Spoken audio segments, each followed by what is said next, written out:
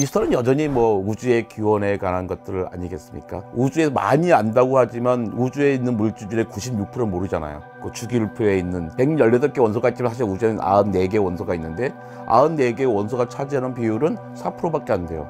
96%는 우리가 모르는 암흑 물질, 암흑 에너지인 거죠. 이 20세기의 우리의 최대 성과는 뭐냐면 우주에는 우리가 모르는 게 96%나 있어라는 걸 알았다는 거예요.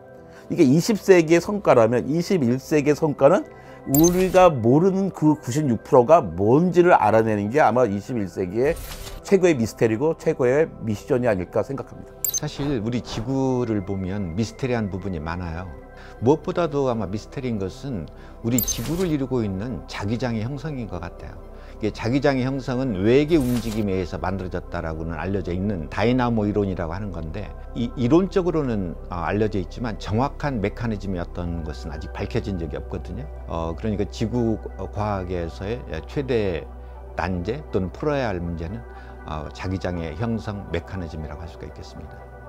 사실 우리가 살고 있는 지구를 잘 몰라요.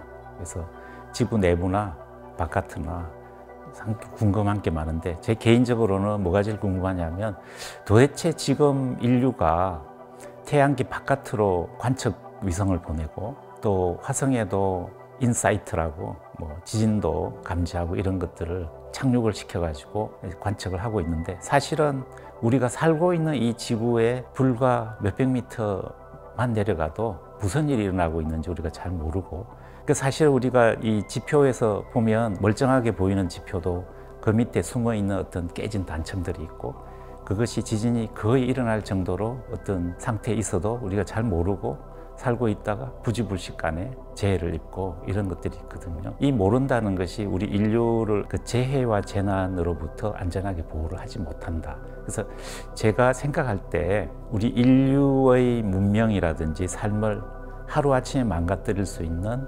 지구에서 일어나는 큰 재해, 예를 들어 지진이나 화산이 언제 터질지, 어디서 터질지 이런 것들을 아직도 전혀 모르고 있다 하는 것이 정말 가까이 있, 지만 아직까지는 모른다는 게 미스테리이기도 하고 우리가 가지고 있는 숙제가 아닐까 이렇게 생각합니다.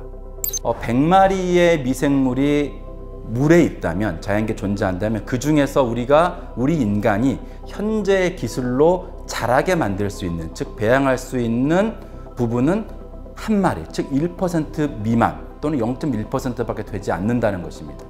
그래서 이러한 미생물들을 우리 인간이 실험실 내로 가져와야만 그들이 어떻게 생겼고 무슨 기능을 하며 무슨 대사를 하며 어떻게 재생산을 하며 지구의 환경을 어떻게 바꿀 것인지 또는 어떻게 적응할 것인지를 알 수 있지 않겠습니까? 그러나 현재 우리가 가지고 있는 기술로는 그게 잘 되지 않는다는 점이 가장 아쉽고요. 그 워낙 다양하게 존재하고 있는 미생물들을 배양하기 위해서는 그 환경의 특수한 환경을 알아야 되고요. 그 특수한 환경에 맞는 특수한 방법론을 적용해서 그 미생물을 우리 미생물학자들이 관찰할 수 있고 실험의 도구로 사용할 수 있는 것 아마 그게 21세기 미생물학자들이 풀어야 될 과제이고 미생물학자들이 해야 할 일이라고 저는 생각을 합니다. 사실 가장 큰 미스테리는 뭐냐면 정자와 난자가 만나서 하나의 수정란이라는 한 개의 세포에서 이렇게 거대하고 엄청나고 복잡한 10조 개의 세포로 이루어졌다는 사람을 만들어내고 그뿐만이 아니라 이렇게 복잡한 정신세계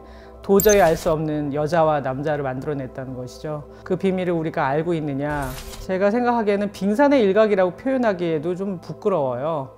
그 빙산이 얼마나 큰지조차 모르고 있으니까요. 그래서 알고 있는 것이 거의 없다는 게 이제 생명과학의 특징입니다. 근데 개인적으로 제가 요새 궁금해진 게 하나 있는데 바로 소위 정크 DNA라는 겁니다. 이게 정크라고 하면은 어떻게 보면 버려져야 될 것들인 건데 이 정크 DNA는 뭐냐면 우리 그 세포 안의 DNA가요 한 98%는 RNA 단백질 이렇게로 이렇게 코딩이 되지 않아요. 즉 아무 활동이 없는 거죠.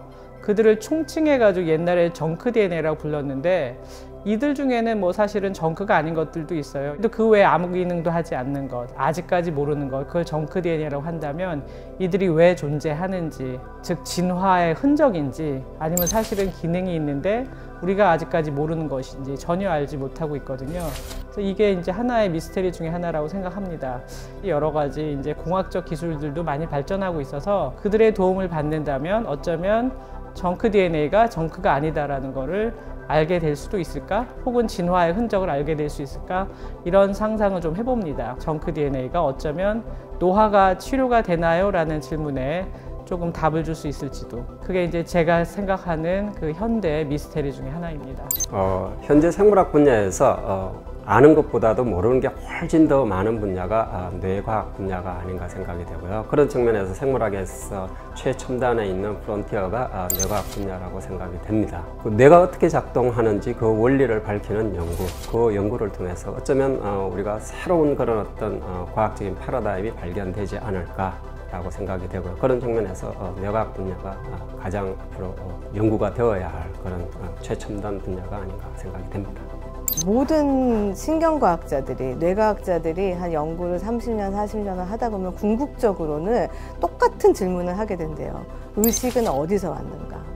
사실은 우리가 여러분들이 매일매일 아침에 깨어나는 거를 상상을 해보시면 깨어났을 때 의식을 순간적으로 회복을 하게 되는데 그러한 것들이 뇌의 어떤 기능과 어떤 장소에 따라서 일어나는지에 대한 것이 뇌의 최대 미스테리라고 저는 생각을 합니다.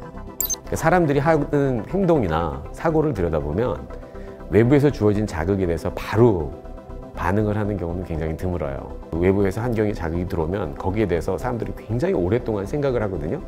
그러고 나서 답을 던져요. 아니면 어떤 행동한 특정한 행동을 하거나 그렇기 때문에 우리가 이제 보통 사람들이 그걸 생각이라고 그러는데 이 생각이 뇌에서 어떻게 전개되는가 하는 거를 현대적인 과학은 방법을 써가지고 연구하기가 굉장히 어려운 이유가 우리가 자극을 주어진 다음에 직후에 일어나는 일은 여러 가지 측정법을 써가지고 과학적으로 잴 수가 있고 그다음에 어떤 행동이 일어나기 직전에 발생한 일도 역시 여러 가지 장비를 이용해서 잴 수가 있어요. 근데 그 자극과 반응 사이의 시간이 길어지면 길어질수록 자기의 어떤 개인차에 의해서 그 가능성이 숫자가 늘어나기 때문에 그 사이에 일어나는 신경세포들의 반응하고 사람이나 동물이 했을 수 있는 어떤 생각 간의 관계를 파악하는 것이 점점 어려워져요. 그래서 제 생각에 뇌과학이 앞으로 더 많이 발전을 하게 되면 측정 장치도 더 그러니까 개발이 많이 될 것이고 그 다음에 인간의 생각을 과학적으로 수학적으로 어, 모델해서 좀 더 정확하게 이해할 수 있게 될 거기 때문에 뇌과학이 궁극적으로 사람들에게 그 가르쳐 줄 수 있는 것은 과연 사람들이 그렇게 오랫동안 장고할 때 과연 뇌에서 어떤 일을 하는가 그걸 푸는 것이 뇌과학의 궁극적인 그런 미스테리를 해결하는 게 될 것 같아요.